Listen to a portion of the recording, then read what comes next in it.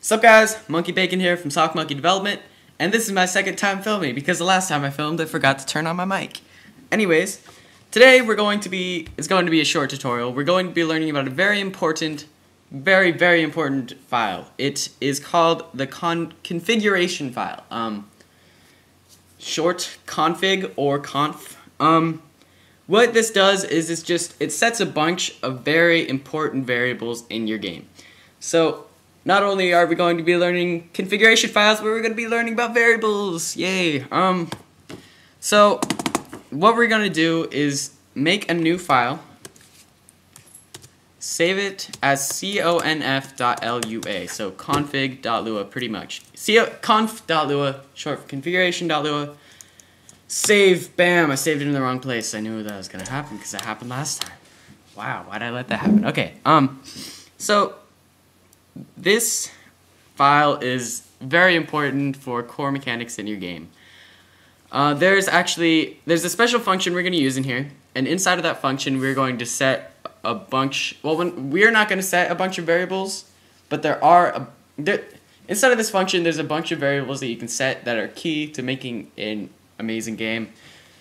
Um, I'm pretty sure there are a lot of different ways to do this other than a configuration file, but this is probably the best way, in my opinion anyways, and easiest, simplest, yeah. So, before we do this, I'm going to show you guys some, I'm going to show you guys the three variables that we are going to be setting. And these, this whole talk about variables will make sense in just a second. But, um, so as you can see here, we just got a basic window. Wow, I'm out of breath. I've been talking really loud and really fast. Um, just a basic window. There's no title at the top. It's 800 by 600 pixels, I think. And yeah, it's just super basic.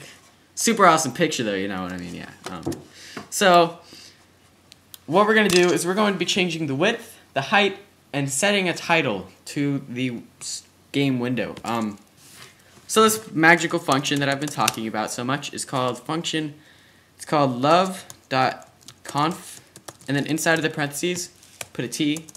I think I already explained it, but uh, things in programming, most of the time, whenever something's inside of a um, inside of parentheses, it is called an argument, and it is something that's required for whatever the function is. So this t is, we're going to be using this t to help set variables. What I mean by that is the first variable we're going to set is t.screen.width.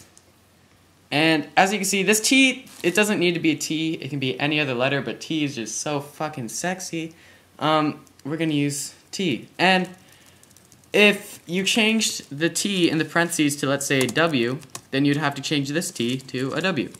But I like T, because like I just said, it's super sexy. Um, so, this is what I mean by an argument. Anything that in here is in the parentheses is something we're going to be using inside of the function. And there are a lot of different uses for arguments that we'll be using when we start moving our character and all that. But for now, let's set the width. So this is actually, it's not in inches or centimeters, it is in pixels. And I'm on a Mac, so a good size for me would probably be 900. And then to set the height, you guessed it, t.screen.height. I'm gonna set mine to 900. Whoa, I'm just getting crazy.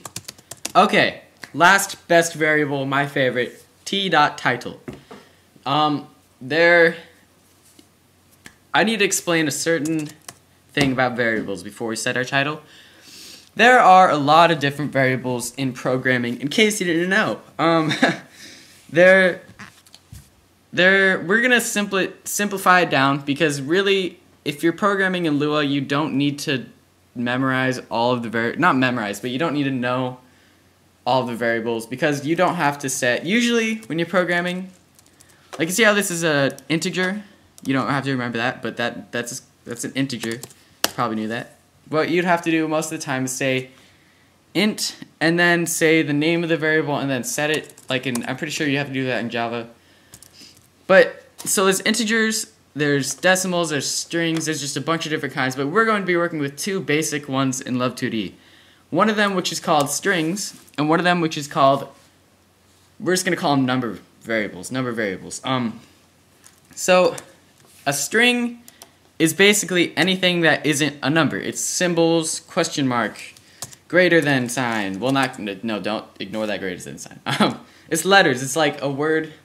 It's anything. It's just a string of letters or a string of symbols. Um, it's anything but numbers. So, whenever you set a string variable, it has to be in quotation marks. So, since this title is obviously not a number, it is not being described as any width or height or anything. It is a string variable. So now we type in the name of it. I'm going to call mine YouTube, YouTube butthole. Yeah, okay.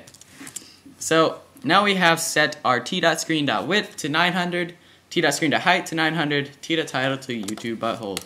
Doesn't matter what any of these are, it's just whatever fits your screen. You can mess around with these. And I have not tried, but I'm pretty sure you could just make this drag on forever. Okay, so now I'm going to compress my game. You guys don't have to unless you want to see your work of art. Run it. Bam! YouTube butthole, wider screen, awesome logo, taller screen. I think this screen actually goes off of my computer because I don't think my computer is 900 pixels tall.